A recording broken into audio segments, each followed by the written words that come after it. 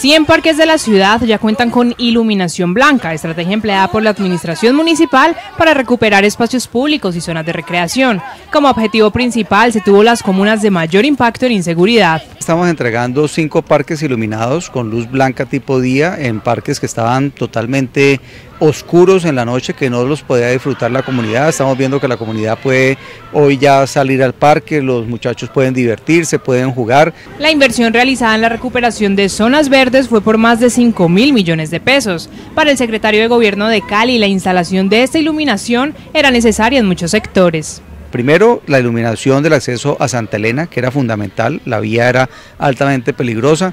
El parque de Alto Jordán, que es una zona también muy peligrosa, que no tenía iluminación.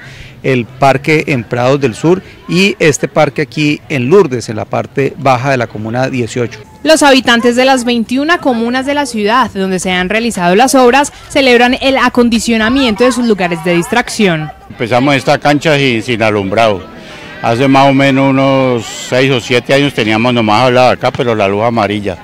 Ahora se ve muy, se ve más mejor, claro, ha mejorado mucho el 100%. El proyecto se extenderá en otros sectores de la ciudad. Los habitantes de los estratos 1, 2 y 3 serán los más beneficiados.